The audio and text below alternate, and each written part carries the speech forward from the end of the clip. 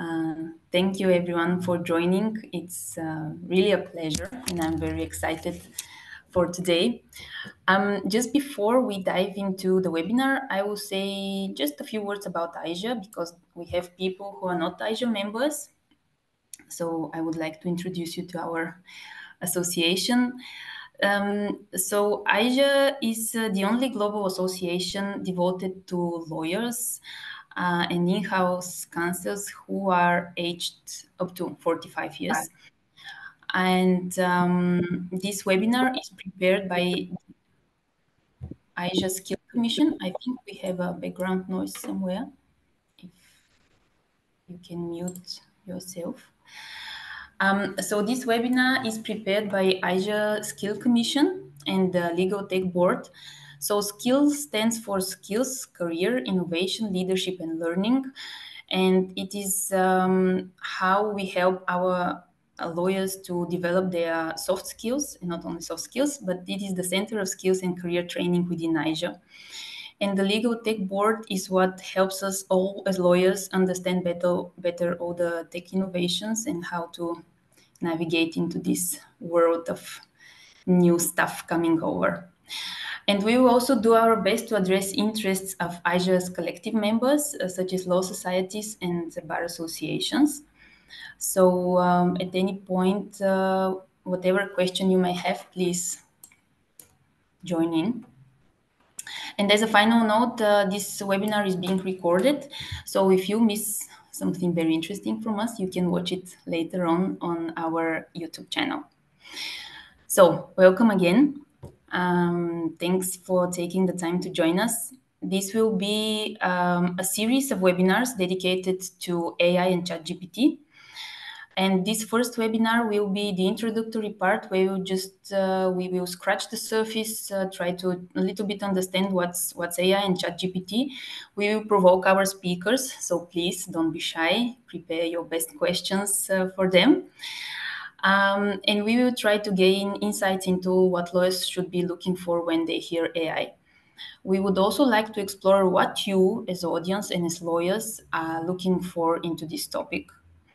So, and in the next two webinars, we will dive deeper into this. Uh, the webinars will take place in February next year, so mark your calendars for, for this. Uh, without any further ado, I would like to present you ourselves. I will start with my co-moderator, Aline Van During. Aline is a Swiss qualified lawyer based in Dubai since 2015 and with more than 12 years of experience in Switzerland and the Emirates. Before setting up AVD Legal, she was involved in a number of startup companies in Switzerland and the Emirates as an in-house counsel and strategic advisor. She has a broad experience uh, in business and tax law as well as in renewable energy. And within AIJA, Aline is our SCILL Commission president. Thanks for joining, Aline. Um, about myself, I'm Radina Tomanova from DPC law firm in Bulgaria, of which I'm part for 11 years now. I'm a corporate and M&A lawyer with certain focus in the tech sector. And within AIJA, I currently occupy the position of bar relations coordinator, and as such, I'm responsible for the association's relationship with our collective members like bar associations and law societies. Next will be our speakers, and I will start with the lady, Iga, Iga Kurowska. She's a French qualified lawyer um, who a few years ago decided to switch her career into legal tech and legal innovation. And after two and a half years as a head of innovation and legal tech at a Spanish law firm, she has just joined Karnov Group Region South, which is a Scandinavia legal information provider, where she will lead innovation within the recently acquired companies in France, Spain, and Portugal. She is also the founder of the independent educational platform Legal Tech Academy and a visiting professor at a number of uni European universities, such as the Sorbonne Law School. And within AIJA, Iga is our co-chair of the Legal Tech Board, together with Thomas, about whom Aline will tell you more. Aline, the floor is yours. Thank you, Radina, and um, a warm welcome from my side as well to everyone. Um, about Thomas Seeber, he is a lawyer with many years of experience in legal tech, also as a partner in renowned law firms in Vienna, Innsbruck, and London. Thomas has put his experience in legal tech into practice as the founder of Real Estate 8 Technologies GmbH, for which he has received numerous awards. He's an expert in the application of technology and digital solutions in the field of law and gives numerous lectures on the subject. With his training at the MIT Sloan School of Management and AI and its implications for business strategies, he has extensive knowledge of the latest technological developments and how they can be used to make legal processes more efficient and cost effective. Next is Al Karim Makhani, who is the Vice President of TransPerfect Legal Solutions, a long-standing partner of AIJA, and I'm sure many of you have met him before at our events. For most of the last decade, Al has been advising firms and corporates on automation, analytics, and AI in law. The decade prior, he was a senior disputes lawyer at Stephenson Harwood, London, and Hong Kong. Al is a certified data privacy expert and recently completed a qualification at the University of Michigan in AI and data ethics. He lectures at various academic institutions and contributes to leading industry bodies like the ICC, IBA, and ARPTech, and sits as a sector specialist to the Ministry of Justice and Department of Trade and Industries Law Tech projects. Last but not least, we have Daniel Lucey, who is a senior associate at leading Irish commercial law firm McCann Fitzgerald and specializes in product liability litigation and commercial disputes. Daniel is a member of the Technology Committee of the Law Society of Ireland and recently completed an LLM degree on the impact of technology on the legal profession. Within AIJA, he is the national representative of Ireland. So after meeting everyone, I am going to give the floor to Thomas as a start. Each speaker will start their expose with a question to you, the audience, Please answer honestly. You can ask questions to our speakers at any time, either by raising a hand with the button below or via the chat box. They will be answered at the very end during the Q&A session. Thomas, I'll give it to you. Yeah, hello. Uh, my name is uh, Thomas Seeber. Very, very warm welcome from uh, Vienna, and uh, sorry for uh, the delay. It was uh, my fault. Uh, so uh, I had to switch uh, to a uh, yeah other uh, technical device, but fortunately it was possible. So to introduce, let's start with a question. So. Uh, to what degree uh, will generative and other AI uh, change your praxis? And I think, yeah, there is there are different answers. So uh, it's uh,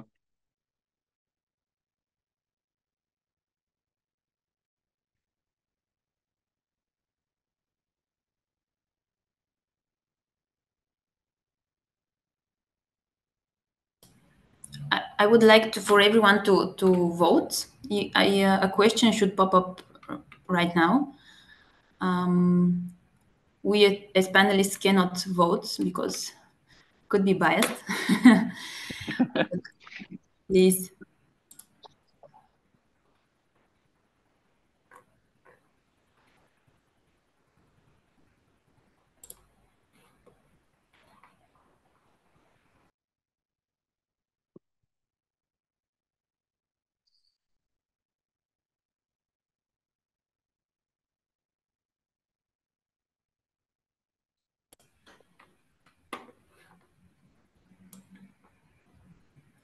So let's see what the what the experience. Uh... Sorry, Thomas, please go. Do ahead. we already have the answers? Oh, okay. So uh, we can see uh, how many uh, of our participants have uh, good, medium, uh, or bad experience with AI, or probably no experience at the moment. So I'm very excited to see the answers. Uh, is it planned to have the answers uh, now? Uh, yes. Well, okay, uh, great. So uh, I see uh, we have not so many participants with no experience and good experience and medium experience. So unfortunately, even a bad experience, but I think Uh, this can can uh, change uh, in the in the in the next future. So uh, I think uh, we can uh, just start yeah, with, with the introduction and with the first questions to, the, to the panelists.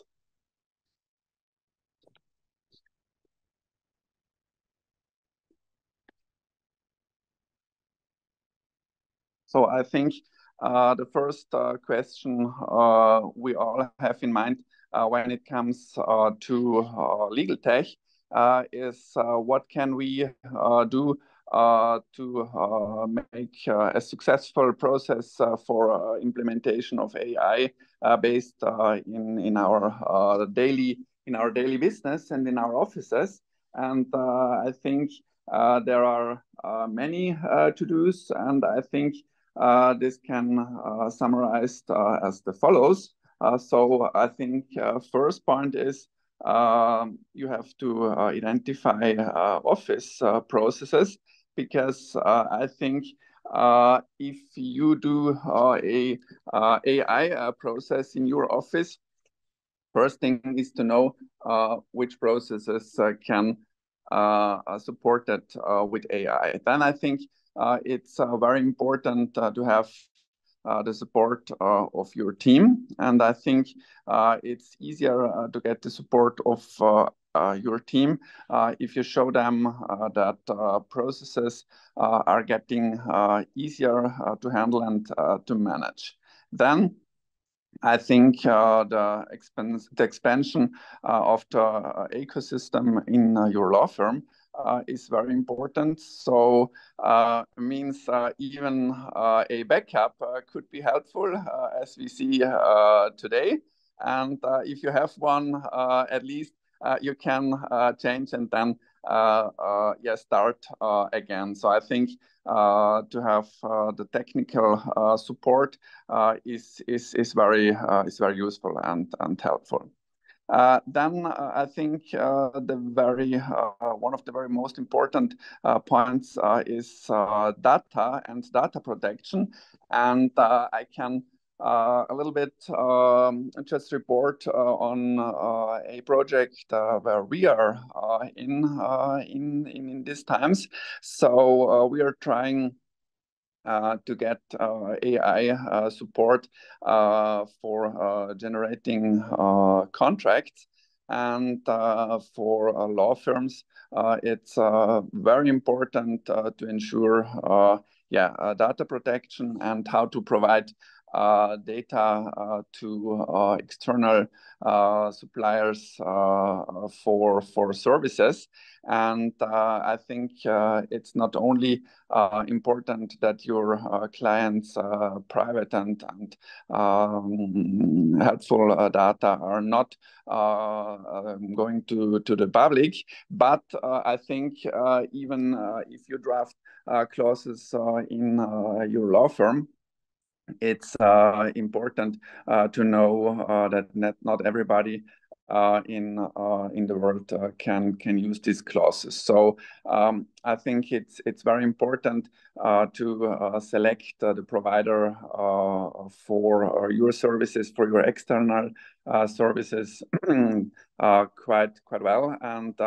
then I think data protection is is a key aspect. And uh, unfortunately, especially when it comes uh, Uh, to uh, very concrete uh, clauses, lots of data is necessary. So, for example, in Austria, we have two types of lease contracts. And just to have a possibility to give the system the power to divide between these two, lots of, of data are necessary. So I think uh, these are, are the key points uh, for successful uh, project in your law firm.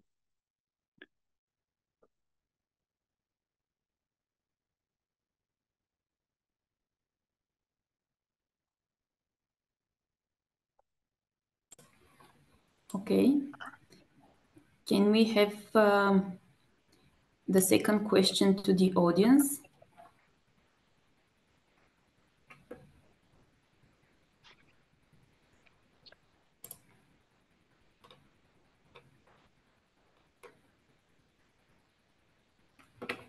So people who answered with no cannot answer here, but still.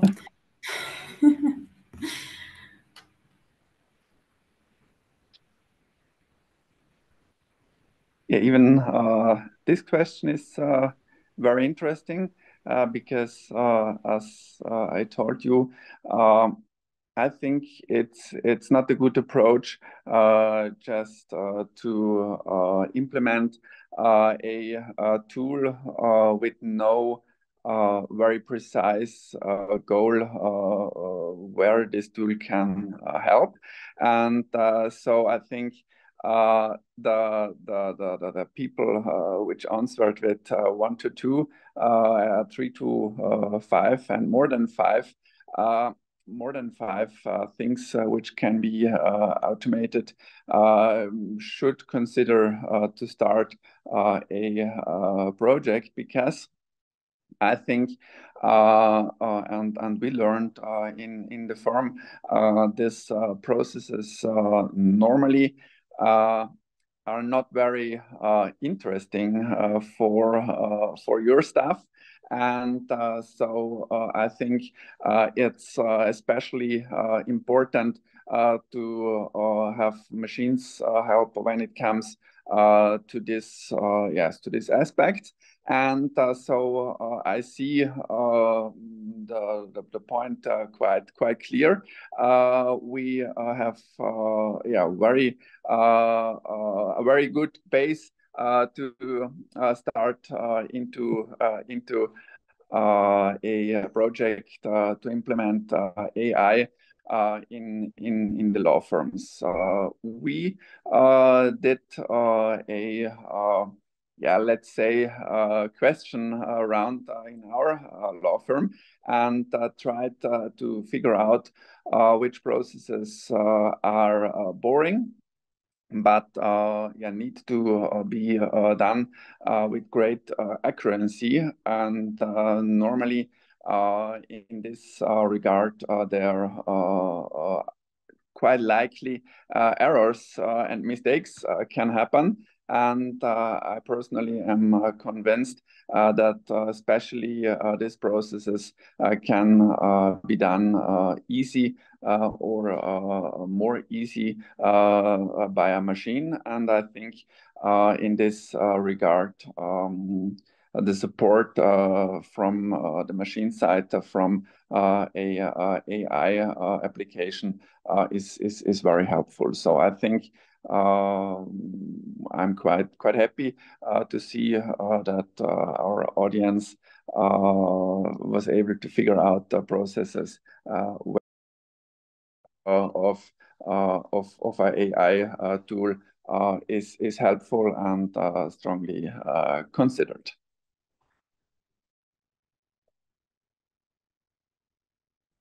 This does not uh, alleviate the, the, responsibility of lawyers, though. I recently read about um, actually a decision, I think it was the High Court in, in Austria, Thomas, that uh, it said that lawyers should still review everything that um, is provided by a legal tech tool. Um, so our main job is still there to review and correct if needed. Yeah, that's true. Uh, so uh, I think this decision uh, here in Austria uh, was, uh, of course, uh, of big interest, and I think when we when it comes to lawyers' work, in every work you do, a kind of a insurance aspect is included for the client. Uh, because uh, the client at the end uh, uh is able uh, to put uh, a problem to the to the law firm and I think we as lawyers, at least now and in the Austrian jurisdiction, cannot just put the problem to the AI solution. So at the end, the lawyer is responsible for the work, what is helpful at the end, Uh, because uh, so uh, it's it's 100% clear that we still need lawyers. It's true. Thank God. Okay.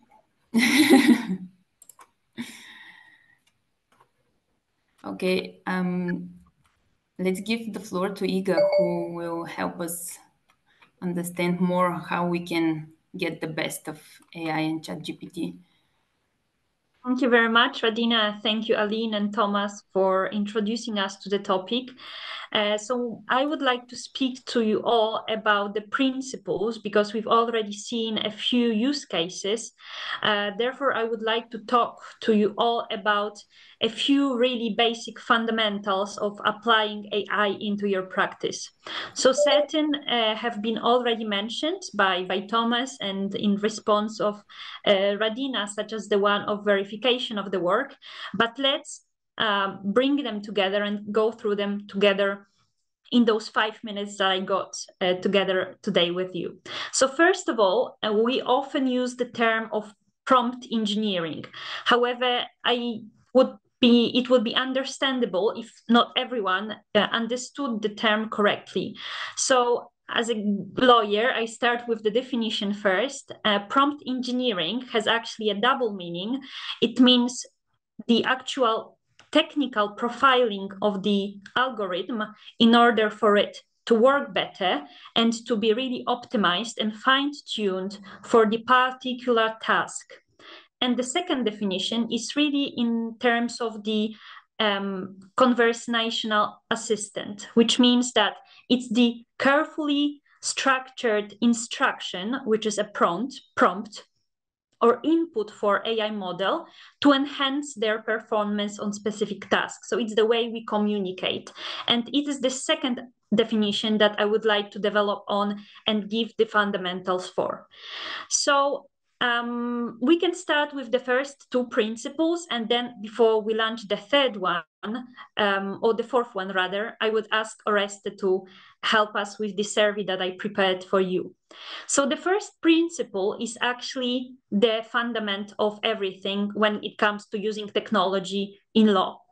Uh, it goes back to the definition again, and it consists of understanding the technology that lies behind, Um, for instance, generative AI. In this sense, in order to use it well in our practice, we need to understand concepts such as uh, why is it a language model, that it's based on predictive analytics of the words that follow one another, and it's it has nothing to do with the truth because it doesn't know the concept of truth.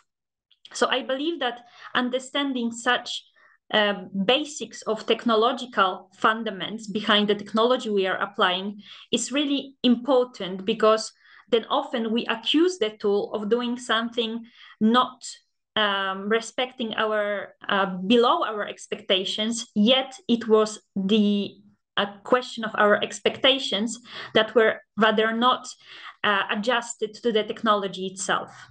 So I've mentioned things such as the probability, that it's a probability model, that it doesn't know what the truth is, and it doesn't know, um, unlike Socrates, it doesn't know what it doesn't know. And this can be an issue with the hallucinations that are so uh, broadly commented on.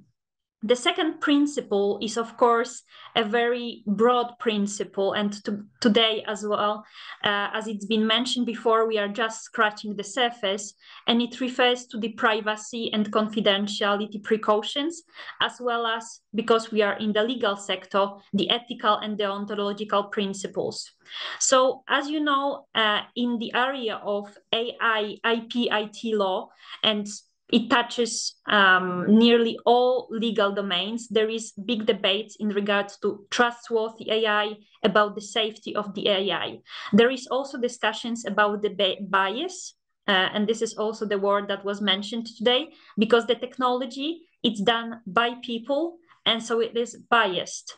Uh, it must be remembered when we use these tools so that we don't reproduce um, these reasonings that can be wrongful and be, can be even damaging for the future of our society and that we as lawyers should be um, carefully taking into considerations.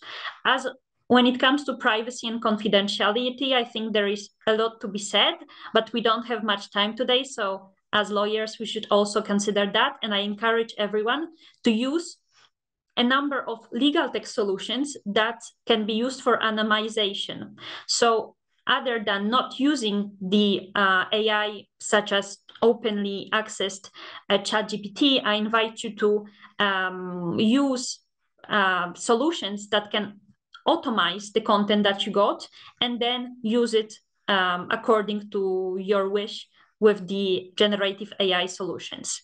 The third principle is about the what's already been said essential output review.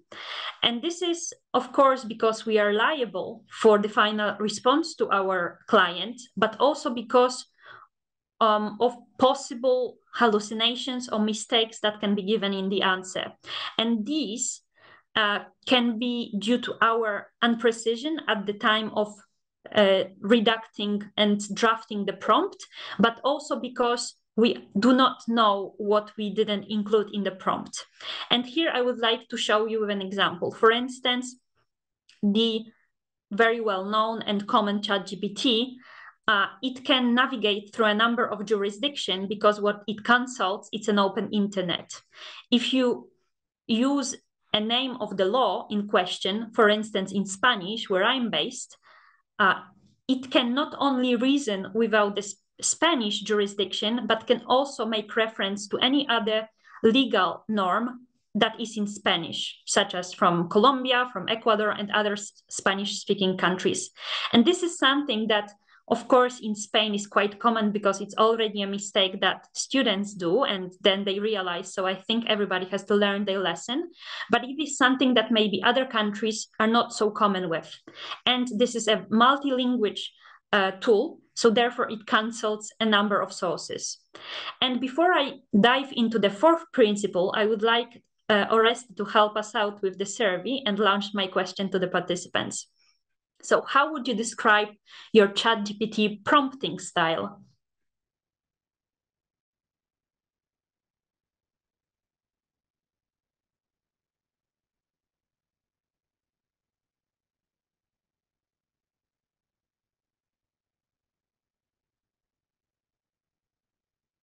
Okay, let's check out the results. All right, so we've got 25 25% of our attendees saying they don't give much thought to the way they prompt. Uh, others speak to ChatGPT as if it was a Google search. Uh, 37, so the biggest group of our audience, include details about the contents and required answer. And um, 33 of our participants lead ChatGPT through their reasoning, um, through their reasoning and the multiple follow-up questions. So thank you very much for answering this question. Uh, I think this is just the beginning as well to the workshop that we could envision about the prompting style. I think there is a lot to be learned uh, about prompting. The good news is lawyers are very well positioned compared to other professionals in this area because after all, it's a manipulation of a language, and this is something that we do professionally. So we're very good with it. Also, I believe that um, the question, the answers, they were not there um, by coincidence. So indeed, uh, giving the context, um, giving the assistant a number of details in regards to the format of the answer we are expecting, about the length, about the context, um, again, of the case, but also information that we are not naturally accustomed to providing to our interlocutor because they are um, they are taken for granted, such as the date, uh, it's it's quite important to position ourselves geographically, to position ourselves time wisely, and this is not something that we are used to with, for instance, Google search. So we should consider, and this is why if we got really good fundamentals in the technical functioning of such tools, it's much easier for us to use them. And now the last one. Um, I think that it's really important to practice and to know your use cases. There is a number of use cases in law that are not legal related, which means that they not um, touch upon the the heart of the legal uh, matter, and um, and I believe that we can already, with being more comfortable, apply AI assistance into tasks such as um, reordering the format or, of our written text, writing the uh, email for us, or for instance, uh, helping us with the strategy of the branding, being creative in, when it comes to argumentation. So when I refer to these tasks being not legal, means that I believe they are more creative and do not uh, we don't treat that assistant ad, as a legal research base because I think this is where uh, it's the most dangerous. So I thank you for your interaction and your attention, and I give it back to Aline or Radina to um, continue on this discussion. Thank you so much, Iga, um, for your contribution to this. Uh, I, I have a question. If I understood you well, what I took away was that basically, at least with regards to the technical aspects, the the more we prompt, the more information we can give to ChatGPT, whatever, the better. Is that is that correct? actually there is? Uh, thank you, Aline, for for for for that uh, question. Well, actually, I think that the right approach would be treating uh, the assistant as if it was our assistant. So we want to provide it with the information. There is a gradual way of giving it context. And certain people say that it's best to lead it through that reasoning gradually and not, um, you know, give it all the details about the case at once. So I think that another uh, important aspect is to give it feedback. So really, as if you were to profile your proper assistant. Some people even argue that if you treat it nicely, if you say hello, hi, thank you, please, then it's gonna going to be nice to yourself as well, and then we are contributing to the society being nice. But I leave it up to you. so an ethical education of AI. Never know who's gonna rule the world afterwards. Absolutely. Well, um, great. Thank you so much, Iga. Uh, I'll hand the word over to Al. Thank you. Yeah. So AI is not really that dissimilar to trainees and junior associates. If you if you speak to them nicely, you're likely to get better work out of them. Um, we if we can run the questions at the beginning of this one, um, then I can actually deal with some some other questions that have come in um, whilst the other panelists have been speaking. So is that all right? Can we put the questions up, please? Great. So just while while people are choosing them, there are actually two questions. You'll have to indulge me. Um, yeah, I've actually just come directly from a roundtable of general counsel um, for a number of different industries, and that artificial intelligence was was ranked at the top of the things that they are concerned about from a business perspective, but also from a legal perspective. Um, so it's something very real for all of the private practice lawyers here, and I think that you know, there's a there's a misconception that artificial intelligence and automation are the same things, whereas actually that there is a, there's an argument that um, even emotional intelligence, which a lot of people say will be the downfall of AI, is actually just a type of learned intelligence, as, as Iga and Aline just said. If you're nice to an AI, it will learn to be nice, and so um, it, it can and does do more than than maybe some of the boring automative tasks that that we think it might. Um, so if we if we look at the answer to this question, you know, that's um, that's probably a fairly accurate representation. Um, anyone that doesn't think it will change, um, well, I, I, I, am concerned for them. Uh, maybe 75% is a bit high. Um, in in true generative AI panel form, uh, I asked ChatGPT this question. Um, and as everyone will know, ChatGPT has data back to about September 2021. And it said that already by that point that the estimates are that AI can change about 30% of a lawyer's workload. So then I asked it again, is this considering the speed of development of machines teaching machines and then of quantum computing? To which said no, but if you factor those two things in, then maybe it would be able to automate up to 60% of um, the tasks typically associated with lawyers. And I'm just going to talk about what what some of those tasks are today and might be. Um, I think there was there was one other question. If it can be run, great. If not, then we can keep going just around when this impact will actually take hold. Um, but it's fine if if maybe the instructions were to have one question. Oh, very good. Right. So um, when will this happen? Uh, if if indeed it is somewhere between 30 and 70%, um, you know, what what does the time frame look like? Um, and whilst whilst we're looking at that, McKinsey did a report last month on the job market coming, the way the job market will develop with generative AI. Um, Generally, every decade, there are 10% of jobs replaced by by 10% of new technologies or jobs.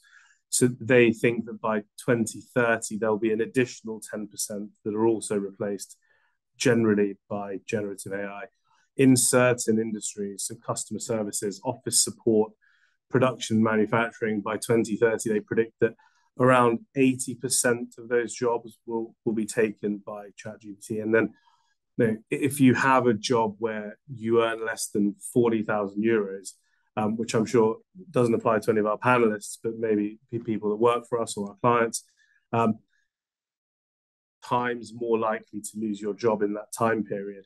And after office support, customer services, manufacturing, the next band of jobs seem to be under threat by generative AI are writers, creatives, consultants, so management consultants, McKinsey themselves, and lawyers. Um, so they would be impacted. And then the other concerning thing, which is not the focus of today's presentation, but this will have an impact on people that are already disadvantaged um, in in those industries. So maybe representation of females and ethnic minorities. And so there's it's really incumbent on anyone in a leadership position in a law firm or an end client um, to take the opportunity to use use this time to upskill their people. And I often get asked, well, a law firm's going to need to hire teams of prompt engineers. But again, as as Iga said very rightly, the best people to engineer those prompts are actually junior lawyers. They have the context, but also they have a very good understanding of language and syntax. Um, and it's not that far away from something like a Boolean search term. Lawyers are often the best place to do that. Of course, it will require additional training, but but I see it very much as part and parcel of what the next generation of lawyers' skill set will be versus something that sits outside of what lawyers are doing. And so that's a little bit of the background um, to where where we are with generative AI. Um, and I think everyone on this panel agrees these aren't necessarily things that we're seeing that we're predicting in the future. They're things that we see today. And so generative AI is being used in the legal space by legal technology companies like ourselves, uh, but also technology companies. So you know, you think about Microsoft and Google um, and Bard and ChatGPT, but law firms. So famously, A&O employed Harvey, and actually, as any single piece of technology, it had more uptake than anything um, the firm has ever piloted. And then I was in the Middle East a few weeks ago where where firms like Pinsent Masons are also starting to license generative AI for limited purposes. What kind of tasks are these tools already conducting? Well, Harvey is legal research and analysis and early drafting, um, but there are some more exciting use cases. So we're seeing it being used to put together questions for witnesses after someone looks at a body of evidence. And that can be before the event, so you know in the way of a deposition. But there are also companies that are trialing this in in court. So as the live transcript is being rendered, there is technology which will be able to suggest a line of questioning for the witness. If you take that one step further, last year, CAS, the Court of Arbitration for Sport, um, they also adduced evidence by polygraph for the first time. And so, if you take those two things together, you know, if you if you're in a situation where there is real time polygraph evidence and AI that is suggesting a line of questioning for a witness, um, it is, however important the the Mehrabian model of body language, intonation, and content actually is, that's going to make cross examination of witnesses a wildly different prospect than it is today and has been. Um, there are predictive analytics used in discovery, and we'll, we'll, come back to that, but also artificial intelligence and due diligence. Um, and then, you know, customer services, which a, a, large part of what, what lawyers do, in addition um, to, to giving black letter legal advice, is actually managing a client, managing communications.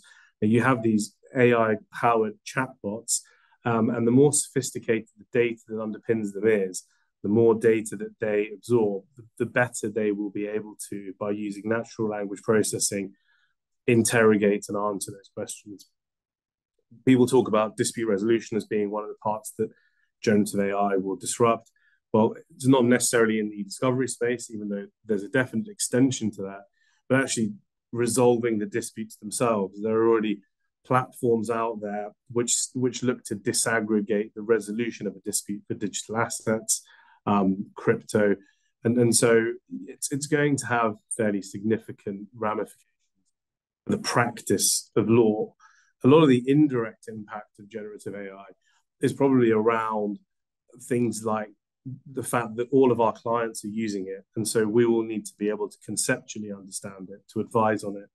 The regulation for generative AI. You know, Stanford Research Center recently did an analysis of whether LLMs themselves would be compliant with the draft EU AI Act. Um, and, and, you know, to a, to a large part, that they could become compliant. That's not really an area that lawyers can advise on without understanding what underpins the, the data and the algorithms. And the last big one is actually the ethical framework under which AI will develop.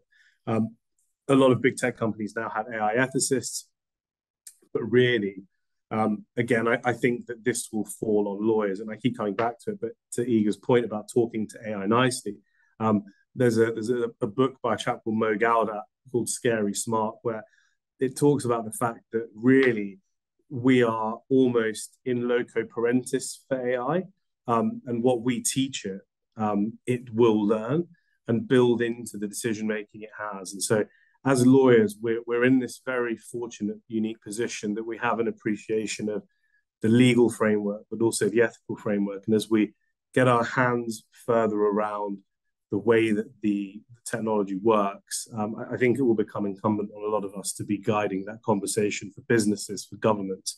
Um, I'm just going to go through very quickly a use case um, that, that, we have right now with generative AI, so something very practical. We have a client that's asked us to use. I mean, the client's mandate was please use it. Um, you know, please try and save costs. Please try and improve the output.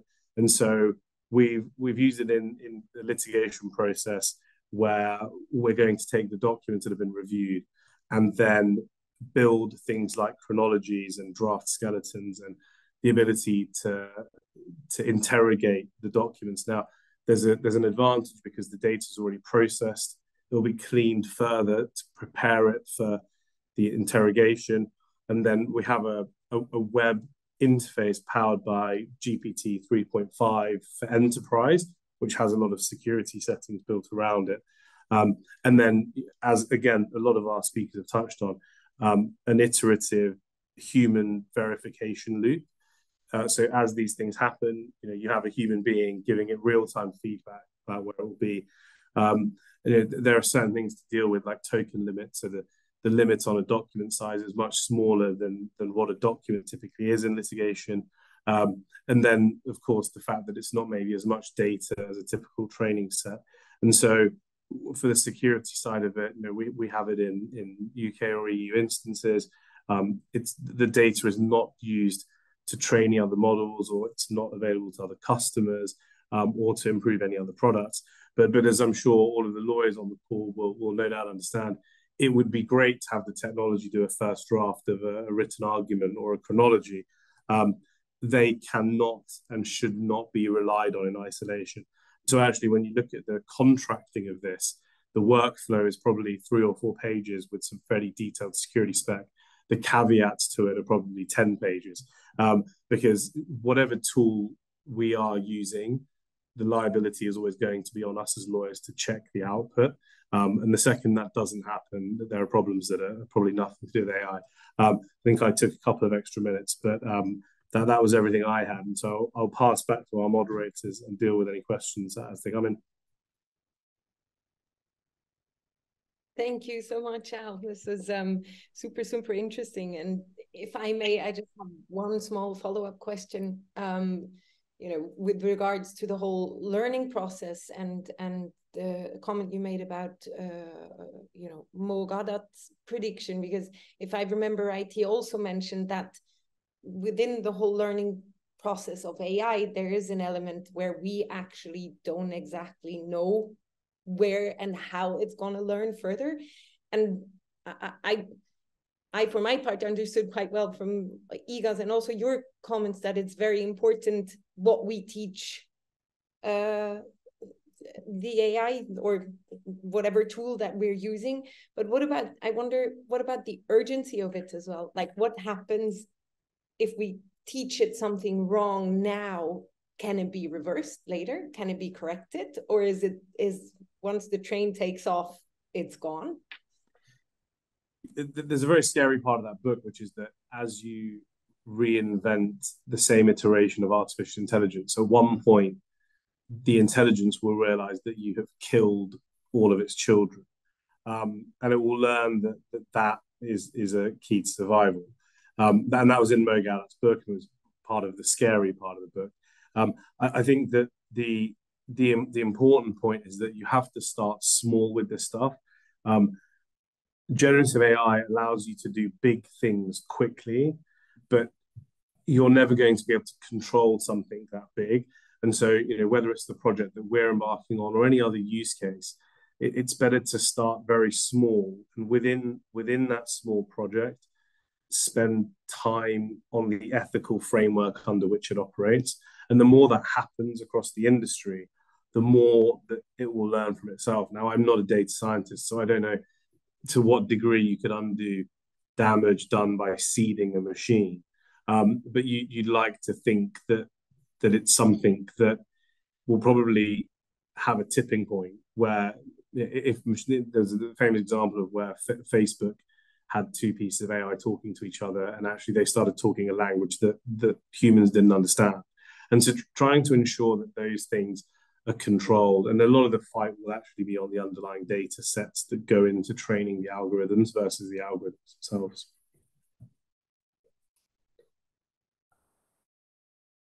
Oh, thank you very much.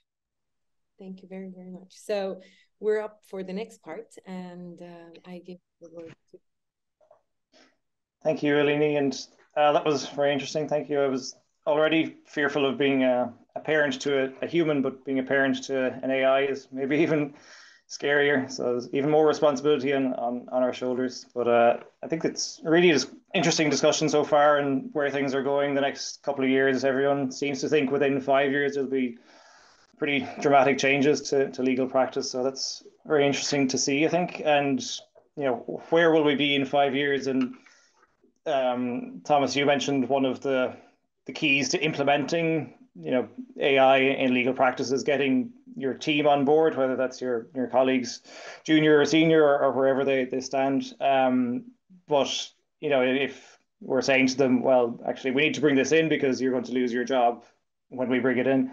That there's a there's a big kind of uh, management aspect to I think to introducing this and to delivering a message that actually within five years, everyone's jobs aren't going to be gone. Don't worry, this is this is something that's going to be beneficial. And that was I took it upon myself to do a, a research master's last year. I was kind of motivated by that aspect to see, you know, are we all going to lose our jobs or not? And my my conclusion was no. Um, Richard Susskind released his latest book earlier this year. He's a prominent legal commentator. He's been at some AIJA conferences, I think um, he's more pessimistic. He says this advancing technology represents the end game for legal services. So he's saying it's you are going to lose your jobs. Um, so I, I don't share that pessimism, mostly because the future is incredibly uncertain. This is such a dramatic change that, as Al said, it's affecting not just legal practice, but society as a whole. And wherever there's complexity, lawyers are needed. Wherever there's problems, we're needed. So what we do today and how we do it will certainly change within, you know, one year, two year, five years. But where are we then and what kind of legal problems are arising and what kind of work do we need to do? So it's it's not enough to just predict in two years' time what's going to happen. It's then in after that happens in two years, then what's going to happen in the two years after that. So for those reasons, I, am a bit more optimistic in um, in what may happen. Um, so I would, uh, I suppose, echo the the contributions of others that this is something we it's a reality. It's it's happening. The technology is incredibly powerful and amazing and can do wonderful things. Um, so I think the question is more about how we implement. There's a question about when. The when is, is probably inevitable, and it's more about how. So, with that in mind, Oreste, would you mind putting up the, the question for, for my section? It's the, the final question. So, it's what's your firm, company, or organization doing in response to recent advances in generative AI? So, some options. One is the, the head in the sand option of let's just ignore it and do nothing. Second one is moving up from that slightly is be very cautious. We're, we're talking about it, but we're not really doing much. Third option is let's be AI curious. Let's run some programs. Let's do some training. Let's see what it can do. Uh, and then finally is just to hell with it. Let's just let's just go for this and see what happens.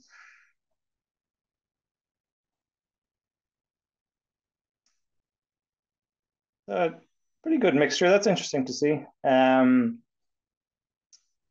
so mostly, at least it's it's on the radar of the vast majority of people. Is only fifteen percent are saying or kind of choosing to ignore uh, ignore it for now.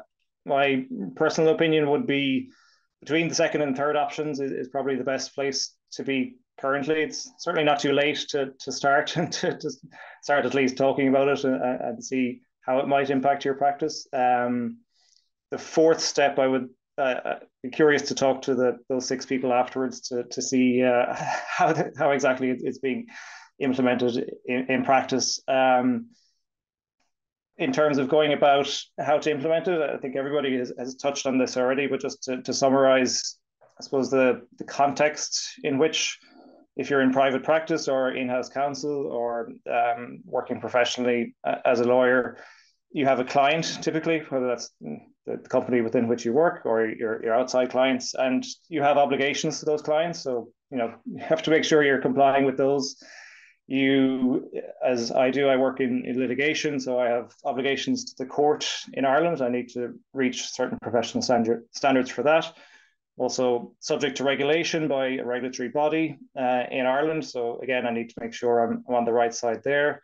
And then there's wider legislation, um, and Al has, has touched on it, the AI Act that will be introduced in, in the European Union. If you're in other jurisdictions, there, probably will be similar legislation coming at some point in the future. The AI Act is probably two years at least away from being implemented, but should be approved early next year. And my reading of it uh, that any AI tool that's used in legal practice will be classified as a, a high risk AI system. Um, and that means there are certain criteria that the, the system, um, the developers of the system, and any users of the system uh, will need to comply with uh, under that act. So, if you're thinking about investing in a in a certain technology now, you should probably be asking your the service provider, have you read the, the draft act at least, and do you think you'll be compliant with it? Because you don't want to invest too much in something now that then in two years' time is going to be illegal. Um, so there's issues around risk management, um, the training of the data, transparency, cybersecurity that, that all go into that high risk uh, category of, AI systems. Um, so there are kind of some contextual issues that should probably be thinking about um, in deciding how to implement um, AI tools. And then within an organization and within a profession, I think again this has been touched on, but if, the role of a lawyer is more just to review the output, um, it may be that if you're in private practice, your client comes to you and says, "We have this in-house tool that has drafted this contract for us, but can you review it?" Um, lawyers now are probably qualified to do that because we've grown up with without AI tools, so we've we've needed to develop our skills in understanding what should be in a contract and what shouldn't be in, but for junior lawyers, where where how do they get the skills to do that? Um, if if lawyers are only going to be you know in a more review type type role, um, as well, I would, would echo what Thomas has said about just looking at the processes um, within your your specific job and within your department or your role. Um, some of them will be amenable to using uh, these tools, some of them will not. Um, and also just from a, a business perspective, I guess thinking again, this is winning over your your maybe some of your colleagues that if we introduce this, what's it going to mean if we're billing by per hour or kind of how's your your fee model set up? If this is going to mean our, our tasks are done in 10% of the time as before, can we only charge for for um, 10% of the time? So just kind of thinking about those issues as well uh, I think is very important. So um, they're just a, a, summary of some of the things we can be thinking about. And as Radina has said, the, the idea with this webinar series is to do uh, some further ones where we can go into these issues in, in some more detail. So I'll hand back to Radina and Alini.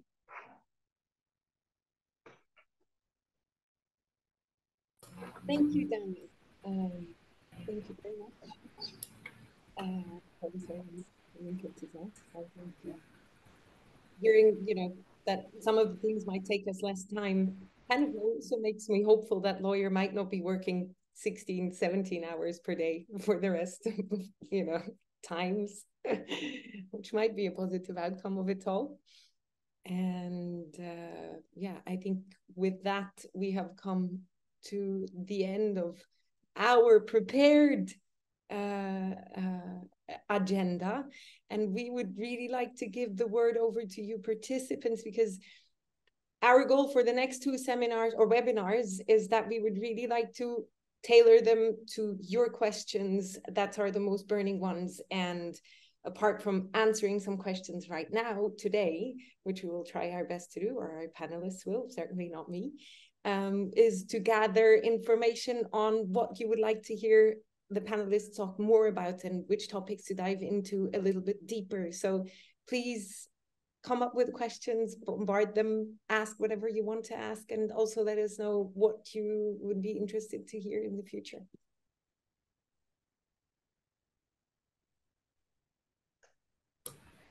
And for now, maybe as a closing, we can um, address the questions that were asked in the Q&A.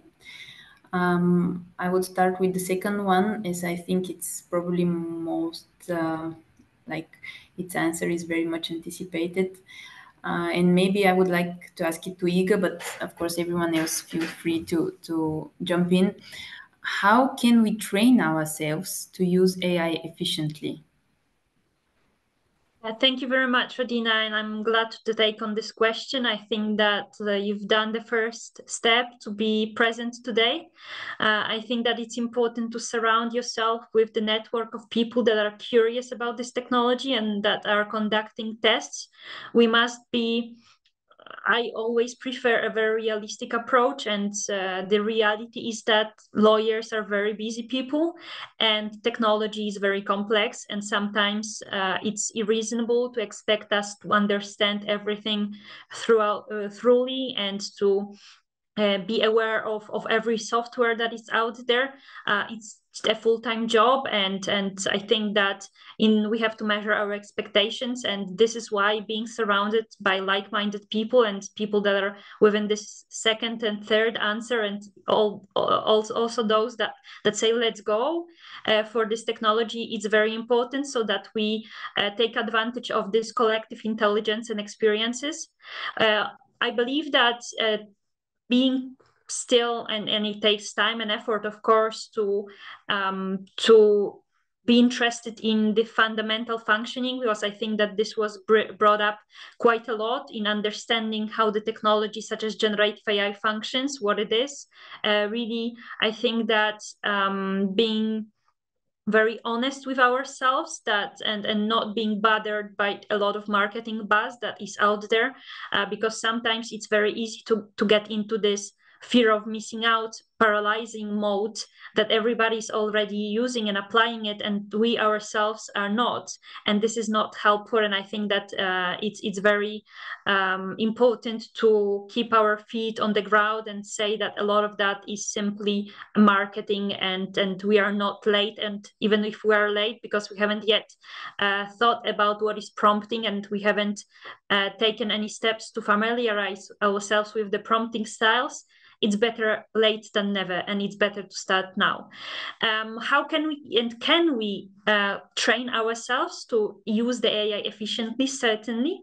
I think that aside from collectivity from taking time and putting effort into it it's also important to in uh, to get into contact with other professionals from different sectors. Uh, I always repeat that it's important not to reinvent the wheel and that we have a lot of a lot to learn from different sectors that have been applying a number of technologies uh, since years and we are just learning about them. So this is why getting into contact or, or organizing and it's also not only on the individual side the responsibility but this is a very interesting uh, topic on uh, the responsibility of the education and what should be the role for instance of the bar associations of the law firms and so on. I think that it's interesting to um, to discuss this must of interdisciplinarity and exchange and this is also something that that is very useful when it comes to um, AI. And the last, I would say, as I said in my fifth principle, is to train by trial and error. It's very different to speak and to participate and to listen than to practice. So if you don't have an OpenAI account yet or a Google for Bard account yet, go go go ahead and create one. Try to play with it because by doing we learn best. Or we can ask ChatGPT how to train ourselves. I'm Thank happy, you. Regina, to, to take the, the first question that was asked, which was Have you used AI tools like Harvey or Spellbook? Yes, and, please. Thomas Aliga, if, if you have, please uh, jump in after me. I haven't used them, but I, have studied them at least. Uh, and I think they and other similar tools, there was um, a press release this week from Vincent AI. It's a similar tool to Harvey, both male names. I'm not sure why exactly, but um, I think that is the future probably of, um, these types of tools. Iga has um, very capably demonstrated the, the failures or why ChatGPT in some respects is not appropriate for, for legal practice and legal research, but but those tools are specifically designed for legal research and, and for legal tasks so that they're confined. They're not. They don't have the open internet. They're um, in the case of, of Vincent AI, it's it, at the moment it's only applying to certain jurisdictions, but it, the results, if you ask it to do legal research, it'll provide you with um, recognized cases from your jurisdiction, so it won't uh, deliver any hallucinations, and it will provide the, the source, so it'll it'll